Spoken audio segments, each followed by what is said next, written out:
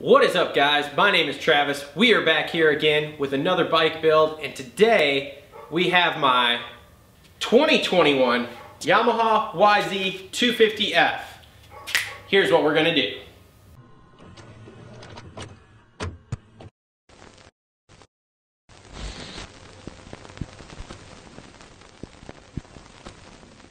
Okay, so here's what we got going on today. We are doing my 2021 YZ250F bike build for the 2021 season here. Um, we're not going full all out with this thing. We had to kind of limit our sources here. We're still in the process of, uh, of building out a powder coating business, which is being more and more successful. Um, however, we're not trying to blow out the budget on this thing. We have lots of other bikes to build, so make sure to hit that subscribe button down there and uh, turn on the notifications with the little bell icon because there will be more bikes coming up. Um, so anyway, what we got on the table here for parts today, we have a complete Polisport plastic kit in the Nardo Gray. Um, we do have graphics that I already put on the number plates, and as you can see here, I'm not the best at doing that but that's okay. It's just plastic. Um, so anyway, we also have uh, gray and white pleated Guts Racing seat cover. So pretty excited for that one. This is actually a Velcro on, which none of us have ever used before, so I'm interested to see how that works out. We've got some Works Connection radiator braces that we powder coated gloss black. We have a uh, Renthal blue sprocket, stock teeth. It's 50 teeth, but I can't stand the gray thing that's on the bike. We have a uh, factory connection racing spring. I believe it's a 6.0 or a 6.1 uh, spring rate that I custom powder coated in a color that, uh, well, to be completely honest, I thought it was more blue than what it came out, but oh well, no big deal, that's all right. So what we're gonna basically do is tear everything off. Now there are a couple things we're still missing. Number one would be handlebars. Um, we do have handlebars ordered, however, we don't have uh, they're not here. They're stuck in the port. As everyone knows, 2021 is a mess for shipping, so that kind of sucks. Um, the other thing I am in the process of trying to find right now would be a skid plate for this, just so it doesn't get too jacked up. What we're going to basically do is we're going to take all the plastics, the seat cover, the bars, all the stock parts here. Um, we're going to put those in a bin. We're going to put them away. This is my first brand new big bike that I've ever owned. Uh, so at one point, this will either go on the wall when it gets too old and I'm done riding it, and it'll just be in stock form. Or if I ever decide I want to sell it, uh, we can put it back to completely stock form. Uh, so that way it looks nice and brand new. Um, and we'll beat the hell out of the rest of the plastics and bodywork. We don't beat the hell out of the bikes, okay? It's just anyone who rides and rides properly knows if you squeeze the bike with your legs, you're gonna wear some stuff out, graphics, plastics, etc. And in fact, we've rode this a couple times and this is scuffed up a little bit, but it's not anything terrible. Plus, to be really honest, I just like the look of the uh, of the gray. I've seen a couple bikes with it now, and I really like it. So I've been talking for way too long. Let's get down to wrenching here. We're going to start with the teardown. We'll get the stuff all off, and then we'll get to it.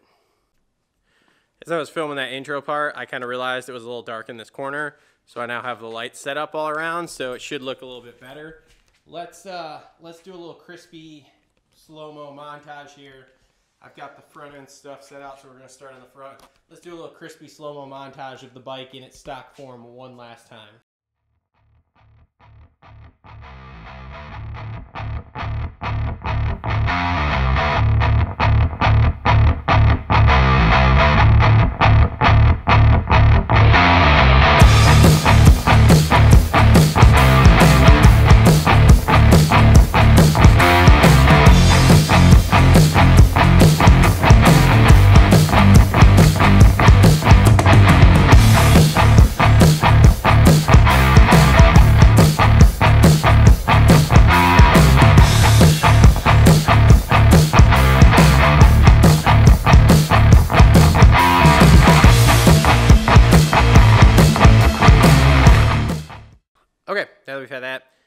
Time for some time lapses. Here we go.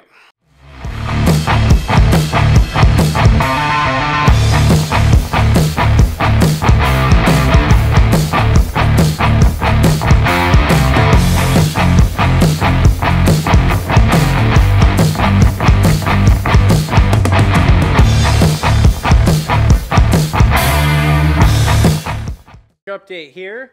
We have uh, front fender on, front number plates on. Those were the easiest one. Oh, I guess also the fork guard here. Those were the easiest ones.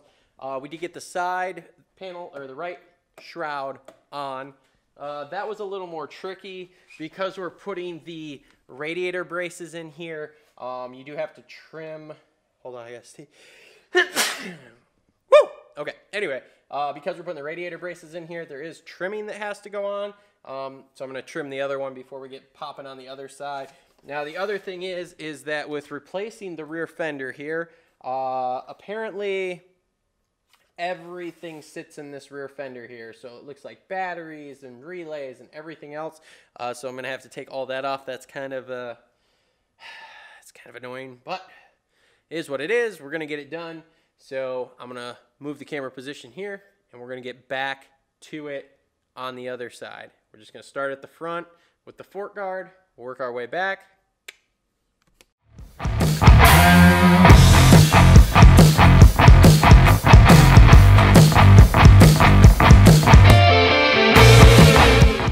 All right, so second fork guards on. We've got this side plastic on. Now, one thing, I'm an idiot. I'm not the smartest guy. As you can see here, let's point this out here right here, there's these little metal grommets behind the screws. Uh, on the other side, I didn't really realize that that was a thing. And so I was finding washer. Oh boy, hold on. Let me turn so there's not lights. So I was finding washers um, to put behind the smaller washer. Eh, I'm an idiot. So I'm going to go back. I'm going to fix that right now. Uh, and then I think I'm going to take a quick break, which you guys won't see because let's face it, this video is all going to be one thing. And then I'm going to get to the ass end here. So we're going to get the shock off. We're going to get the rear fender off. We're going to get the rear wheel off. We're going to do all of that. So so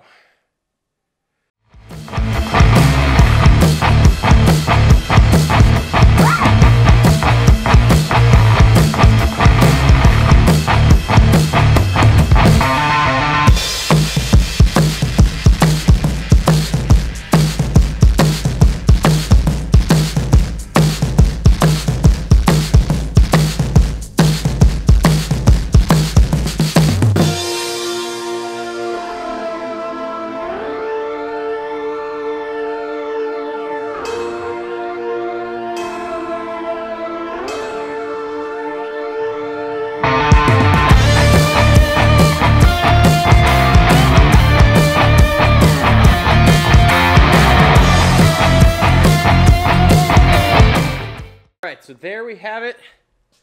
Everything's installed. This thing looks 100% better.